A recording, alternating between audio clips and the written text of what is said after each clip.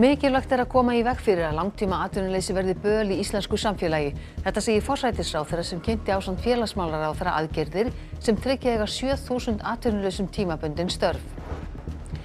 Eftir 27 tíma á sjó komst breyðaferðarferjan Baldur loks til hafnar upp úr hádegi í dag. Farþegi segir óbóðlegt að einungis ein vél sé í ferjunni.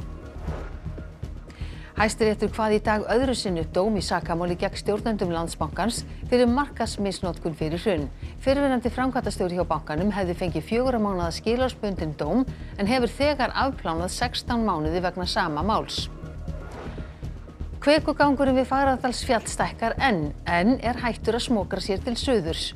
Bíða getið þurft eftir nýjum gerðirnætta myndum á ganginum vegna gagnaversbruna í Fraklandi. Borgfyrskir landabruggarar eru skreiðnir upp úr kjöllurunum og sjóða landan fyrir opnum tjöldum í nýri löglegri landaverksmiðju með gamalli tækni, smá geri og sikri má breyta vatni í vín.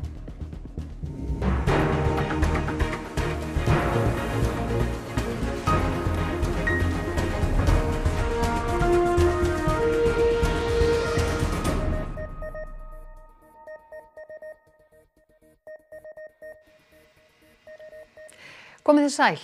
Ríkistjórnin ætlar að verja um 5 miljardum króna til að undverða skapum 7000 manns atvinnum. Úræðið er ætlað þeim sem hafa verið án vinnu í eitt ár eða lengur.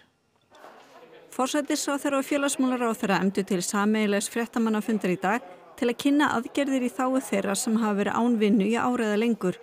Forsættisráþara segir að efnaðsamdrátturinn hafi ekki orðið jafn mikill vegna faraldursins og viðmátti búast að hluta til vegna aðgerða ríkistjórnar og sælabanka. Stóri vandin er hins vegar atvinnuleysið og það, e, þau sem eru atvinnuleys, það er fólki sem er að finna kannski mest fyrir þessari kreppu. Rúmlega 21.000 manns eru án vinnu.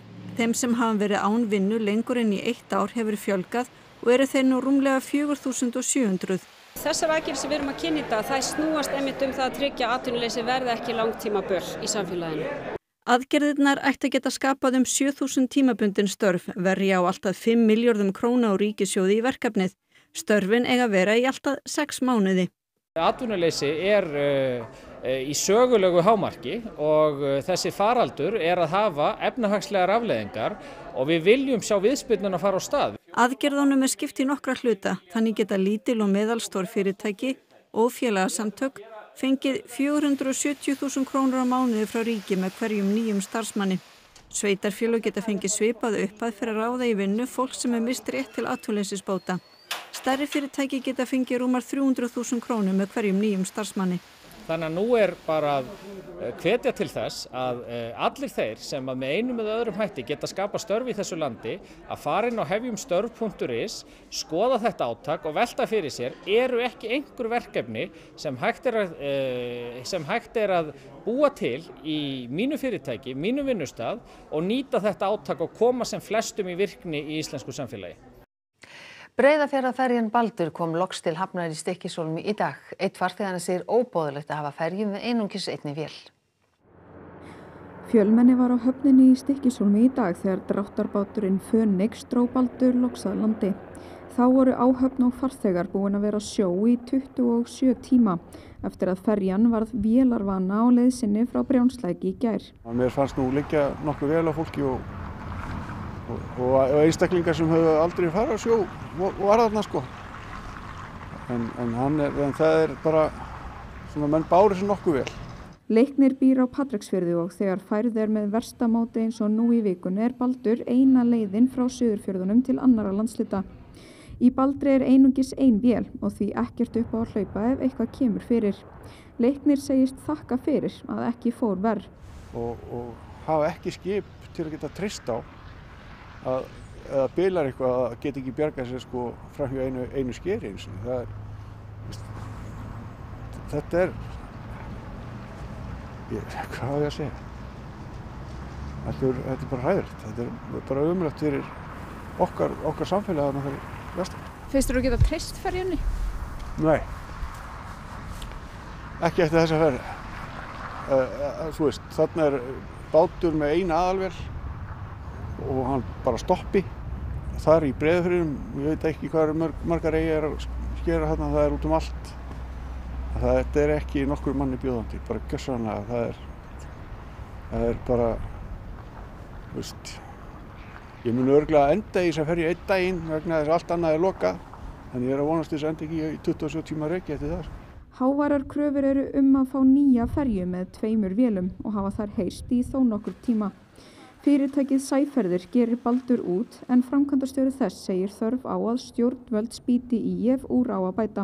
Já, þetta snýst uh, allt um fjármagn. Uh, hérna, það, það er bara þannig og, og, og hva, hvað er sett í þessar sangöngur, uh, hvað er sett í sangöngur hvort sem það er hérna eða við aðri önnur, við eiga samfélög eða hvað sem er við, við strendur landsins og svo er verkinn búin út og menn gera það bara þess að geta í því. Hæstiréttur komst í dag að þeirri niðurstöðu hæfileg refsing fyrir fyriröndi framkvæmtastjóra fyrirtækjasviðs landsbankans vegna ímónmálsins svokallaða hefði verið fjögur að mánuða skilárspöndin dómur. Henni var þó ekki gerð refsing þar sem hún hafði þegar afplánað 16 mánaða fangelsisrefsing og grundvelli fyrir dómshæstaréttar í sama máli. Tveir dómar yfir fyriröndi bankastjóra bankans voru einnig mildaðir. Sigurjón Þótt Átnarsson og Sigriður Elín Sigfúsdóttir fyrirverandi bankarstjóri og fyrirverandi framkvæmdarstjóri fyrirtækjasviðs landsbankans voru fyrir sex árum dæmd í hæstarétti í þryggja og hálsárs fangelsi og átján mánada fangelsi fyrir ímón málið svo kallaða. Hæstiréttur snýri þar við síknidómi hérastóms Reykjavíkur. Endur upptöku nefnd fjælst á beðinni Sigurjóns og Sigriðar Elínar um endur upptöku fyrir tveimur árum. Horði nefndin til þess að Viðar Már Mattíasson, eitt þeirra sem dæmdi í málinu í hæstarétti, hefði orðið fyrir verulegu fjárhagslegu tjóni við fall landsbánkans. Taldi nefndin að þar af leiðandi hefði mátt draga óhlutlægni dómsins með réttu í Eva. Hæstiréttur hvað síðan upp nýjan dóm í dag þar sem dómatnir yfir Sigurjóni og Sigriði Elínu voru mildaðir. Fekk Sigurjón tólmánaða dóm sem var skilósbundin vegna tafa á málsmeðferðinni.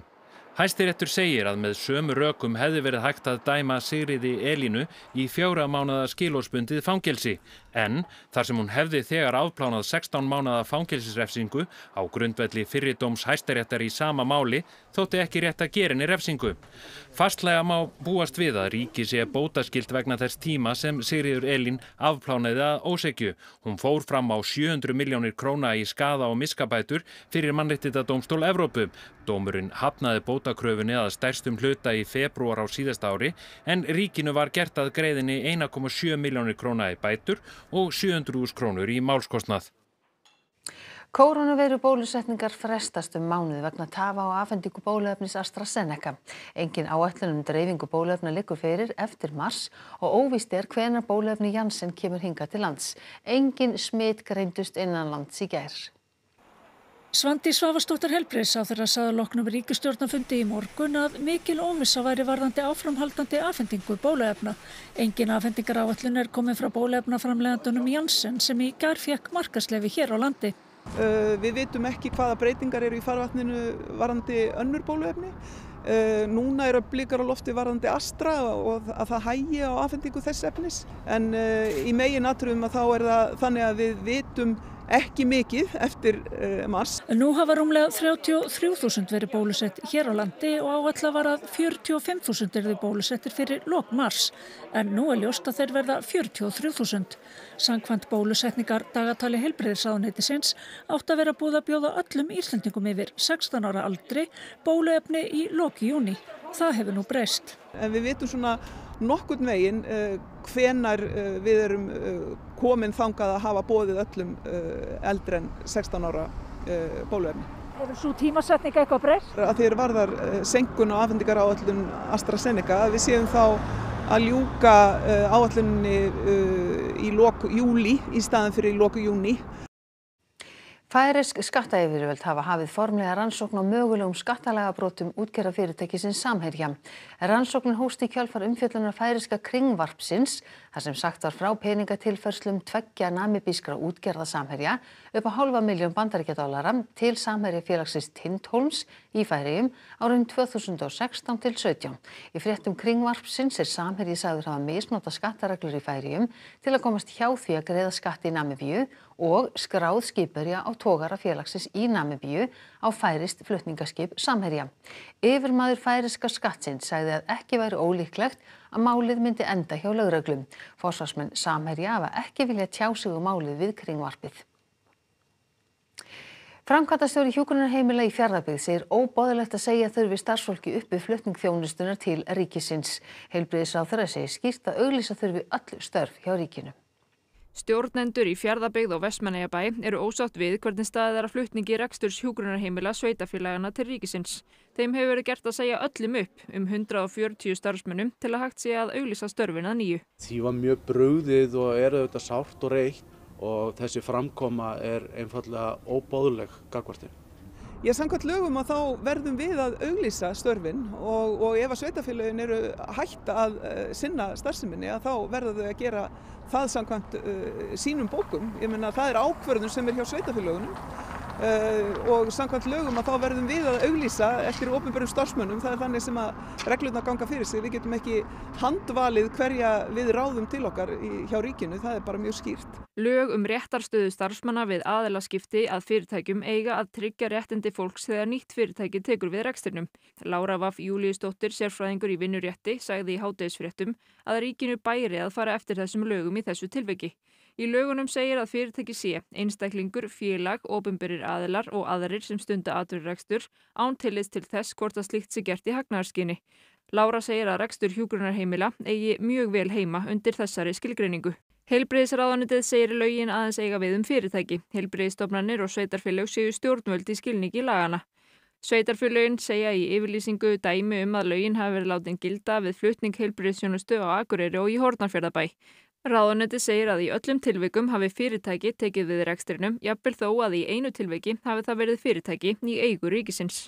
Svandi segir að ríkið hafi reynd að fá önnur fyrirtæki til að taka við rekstrinum en án árangurs. Við erum búin að vera í óvissu í, í tæpa sex mánuðu um það hver ný rekstraraðli yrði. Allan tíman verið tjá það að starfskjör og réttindi yrðu virt en nú kemur það eins og köld vaskusa að, að svo verði ekki ofan í þá óvissu sem fyrir hefur verið. Ragnar segir að mögulega muni kostnaður við uppsafnað orlof og uppsögnarfrest starfsfólks lenda á sveitarfélaginu sem nú þegar greiði með rekstrinu. Auk þess hefur það enga vissu þá fyrir því hvernig staðið verði að endurráðningum. Og, og ég gerir ráð fyrir því að, að starfsfólkið haldi áfram að sinna þessum eldstu íbúum þessara sveitafélaga. Kveikugangurinn á Reykjaneskaga er enn að stækka en ekki er alveg ljóst með hvaða hætti. Einhver byrð geti orði eftir nýjum gerðinhattamyndum á svæðinu. Ákveð áhyggjaefni segir sérfræðingur. Frá miðnætti hefur verið mikil skjáltaverkni við náttaga suður af Fagradalsfjalli og áttunda tímanum í morgun mældist skjálti sem var fimma stærð. Líklegt er talið að siðsti endi kvikugangsins liggi þar undir. Já, ég stend hérna við Suðustrandaveg, rétt austan við Grindavík og hér gæti hraun flætt yfir. Ef að það fer að gjósa á þeim stað sem að vísindamenn telja nú líklegastan, hérna fyrir ofan mig í náttaga og hraunni myndi þá taka sinn tíma í að flæða hérna niður, það myndi fara sitt hverju megin við fjalli slögu eða öru hverju megin við það og það tækir það kannski 6-12 klukkustundir að komast hinga niður á Suðustrandaveg ef að það yfirleitt næði svo langt og það gæti svo haldið áfram hérna niður í Raunsvíkina og náði sjó þar. Í dag klöngruðust vísindamenn á veðurstofun upp á fjall með vefmyndavél til að geta fylst betur með svæðinu. Kvikugangurinn virðist ekki að var hreifst neitt úr stað síðastliðin sólring en hann er enna stækka og ekki alveg ljóst hvernig. Það er alveg hugsalegt að, að, að sko, hann sé kannski eitthvað að diffka eða grenga og kannski er þetta ekkert svo miklar fæslu sem valda miklu, skjáltaverkni. Við erum, vitum ekkert hvað gerist næst, hugsalega fer hann eitthvað aðeins lengra. Vísindaráð almannavarna fundaðum umbrotin á Reykjaneska í dag. Á fundinum var sérstaklega rætt um hvort líkur væri á öskugós í sjó. Það var hérna eindum álit að, það, að svo sviðsmynd að þarna verið öskugós í sjó þykir mjög ólíkleg. Vísindamenn byggja álíktanir sínar um að kvikugangurinn sé að stækka á GPS-gögnum en gerfinættamindir hafa líka gengt mikilvægu hlutverki við að meta staðsetningu gangsins. Ekki er vist hvort nýjar gerfinættamindir berast á morgun eins og áætlað var. Ástæðinu svo að eldur kom upp í gagnaveri í Strasburg sem hýsir myndir Gimferðastofnunar Evrópu af kvikugangnum. Þær eru mjög mikilvægar í þessu eftirliti. Er það þá ekki ákveð áhyggju efni? Það gæti orðið það. Við skulum sjá til hvort það myndi koma á lögadaginn og hvernig er afgreðið þetta en, en við höfum smá áhyggjur að þessu já. Ragnar Þór Ingólfsson formaði Vaffer hafði betur í formannskostningu en úrslit voru kunngerði í dag. Hann hlaut 63% atkvæða en mótframbjóðundin Helga Guðrún Jónasdóttir hlaut 34% atkvæða. Af 36.000 félögum í Vaffer greitu atkvæðir um 10.300 eða 29%. Það var kosið um sjö stjórnarsæti og tveir af þeim sjö sem kjörnir voru koma nýjir inn í stjórn.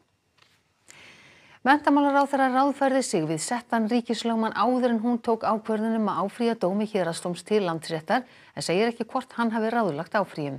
Hún segir afar faglega hafi verið staðið að öllu málinu og réttarríkið leifi áfrýjun mála. Hérastómur Reykjavíkur hafnaði fyrir sléttri viku kröfu ríkisins og mentamálar á þeirra fell úr gildi úrskur kærunefndar jafnbrettismála um að ráð þeirra hefði brotið jafnbrettislög. Mentamálar á þeirra tók fljótlega ákvörðunum að áfrýja málunum til landsréttar. Á þingfundi í gær var þremur fyrirspurnum beint til forsættisráþur um þetta mál. Hún sagði málið á forræði mentamálar á þeirra og hún hefði ekki borðið ákvörðun sína um áfrýjun undir ríkistjórn.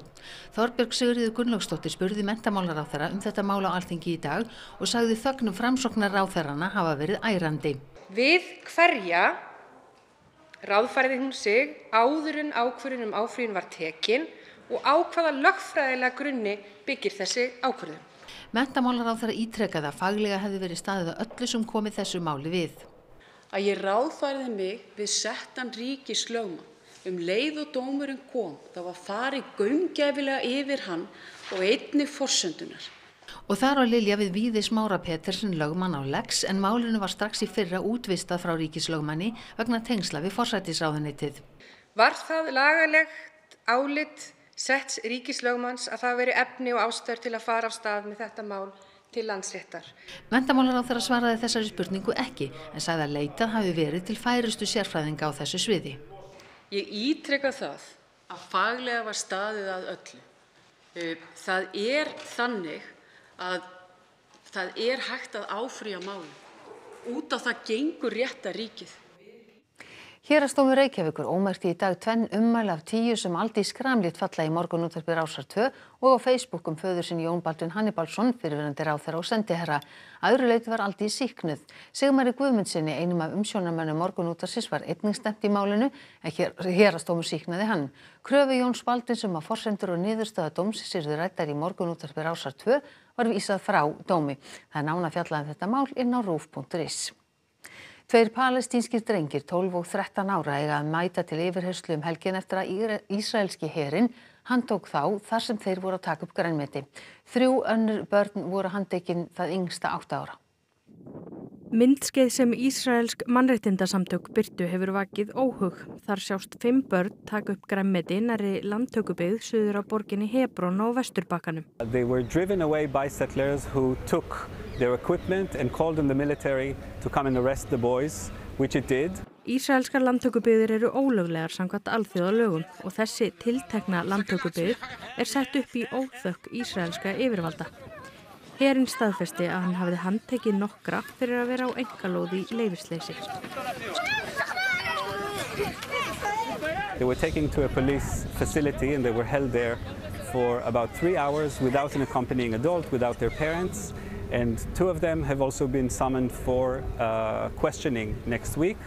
Uh, the other boys are under 12, uh, meaning under the age of uh, criminal responsibility even under Israeli law. Samkvæmt samantækt Adamir samtaka um réttindi fanga eru minst 140 palestinsk börn í haldi í ísraelskum fangilsum. This is another example of uh, the absolute disregard on part of Israeli authorities and forces on the ground to the well-being and rights of Palestinians no matter how young or vulnerable. The youngest boy from yesterday's incident is eight years old.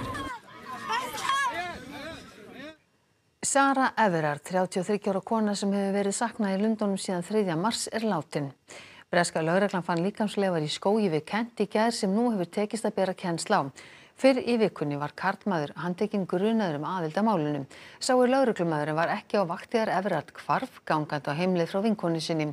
Fjöldi breskara kvenna hefur í kjálfærið deilt reynslu sinni af hræðslu og óöryggi og krafist þess að betur sér gætt að öryggi þeirra. Hópur kvenna bóðaði til samstöðu fundar á morgun sem lauragla hefur bannað vegna sóttvarnaráðstafana.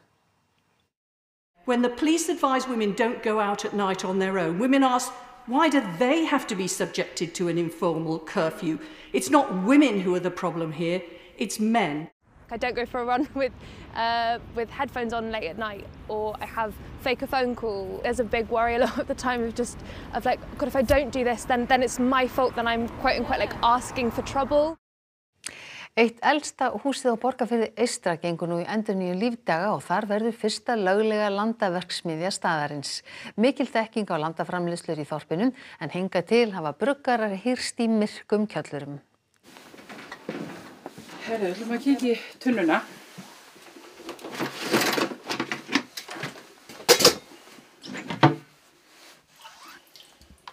Og það lág náttúrulega beinast við hér á Borgarfjörðu Austri að brugga landa. Þess að það er nú laung hefð fyrir því og, og þannig að við bara ákveðum að fara í það. En við ætlum ekki bara að vera í landana, við ætlum að gera gen líka og eitthvað fleira en landin var svona fyrsta sem við fórum í. Maður hefur náttúrulega fengið að smakka hjá ýmsum og það var náttúrulega í öllum kjöllurum öl og alls konar þannig að maður fór náttúrulega bara þá sem að voru bestir í fæinu og fekk upplýsingar. Og þið eru með ákveðna uppskrift? Já, við erum með, notum svona aðalega við uppskrift frá einum gömlum hérna sem er nú fallin frá en bruggaði ægilega gott öl. Bruggverksmiðjan mun líka framleiða bjór og verður í gamla kaupfélagshúsinu sem er nú verið að gera upp. Það er Hótel Blábjörg sem stendur að framkvæmdunum en þar stendur líka til að byggja við, fjölga herbergjum og stakka heilsulindina. Á skömmum tíma hefur starfsemin aukist, þar eru nú sex árskildi og stendur til að fjölga. Það er mjög skemmtilegt að við erum að ná ungu fólki hérna heim sem er að starfa hjá okkur og, og við erum trúlega að fara að ráða enn fleiri sem er að fara að flytja hérna á Borgafjörð og mér finnst það bara alveg frábært. Ég flutti hérna í burtu fyrir hverjum sex án síðan eitthvað slús. Þannig að það er alveg ekki að vera komið tilbaka. Búin að læra ferðamálafræði við fáskóla háskólan Hólum líka. Þannig að það lág bara vel við að taka við hér. Miklar úrbætur hafa verið gerðar á veginum til Borgarfjörðar en það þyrti að auka vetratjónustu á Vaskarði. Við stólum svolítið okkar starfsemi um helgar til dæmis yfir vetratíman en til dæmis er ekki haldið opnu til dæmis á lögatöfum. Þannig að þetta, svona, þetta samfélag hér með önnur bæjarfélag í Múlaþingi þá sitjum við ekki við sama borð og fyrir okkur sem erum að halda út í rekstri þá finnst maður þetta svolítið svona óréttlæti. Og þá að veðri. Það verður stíf norðan átt með engjana helgarveðrið og er gul viðvörun í gildi vegna kvassviðris á Suðausturlandi og Östfjörðum fram til hádegis á morgun. Snjóamun með köplu norðan á Östanlands en þegar komiði fram á sunnudag mun draga bæði úr vindi á landinu sem og úrkominni norðanlands. En Teodor Freyr Hervarsson viðfræðingur hann fer yfir helgarhorfurnar að loknum íþróttum sem Eva Björk Benediktsdóttir sérum í kvöld. Þrjár íslenskar landslískonur eiga risaleiki framundan með sínum félagsliðum í meistaradeild Evrópu. Dreyið var í áttaliða úrslit í morgun. Valur vann sinn fyrsta sigur á Káar í frostaskjóli í 22 ári úrvalstild Karla í Körfubolta í gerkvöld. Við heyrum hljóðið í þremur fyrrum káaringum sem komi í káarheimili í fyrsta sinni litum annars félags. Og í meistaradeildin í hestaíþróttum var kæft í gæðingafimi í gerkvöld. Og þá skulum við rifja upp helstu atriði þessa fréttatíma. Mikilvægt er að koma í veg fyrir að langtíma atvinnuleysi verði böl í íslensku samfélagi. Þetta segir forsættisráþara sem kynnti ásand félagsmálaráþara aðgerði sem tryggja eiga 7000 atvinnulausum tímabundin störf. Eftir 27 tíma á sjó komst breyðaferðaferðin Baldur loks til hafnar upp úr hádegi í dag. Farþegi sér óbóðlegt að einungis ein vél sé í ferjunni. Hæstiréttur hvað í dag öðru sinni upp dóm í sakamáli gegn stjórnendur landsbankars fyrir markaðsmisnotkun fyrir hrun. Fyrirverandi framkvæmtastjóri hjá bankanum hefði fengið fjögura mánuða skilásbundin dóm en hefur þegar afplánað 16 mánuði vegna sama máls. Kveikugangurinn við Fagradalsfjall stækkar en enn er hættur að smokra sér til suðurs. Bíða getið þurft eftir nýjum gerfinetta myndum af ganginum vegna gagnaversbruna í Fraklandi. Borgfirskir landabruggar eru skriðnir upp úr kjöllurunum og sjóða landan fyrir opnum tjöldum í nýri löglegri landaverksmiðju. Með gamalli tækni, smá geri og sigri má breyta vatni í vín. Þessum fréttatíma er alveg að ljúka. Það er næst fréttir hjá okkur í útarpinu klukkan 10 í kvöld og vefurinn rúf.is hann er uppfærður allan sólaringin. Við minnum ykkur líka á rúf appið en þessum fréttatíma er að ljúka eins og við sögðum hér rétt á hann. Við vonum að þið hafið það sem allra best um helgina. Þakkum ykkur samfélgina það sem afir þessum degi. Verið þið sæl.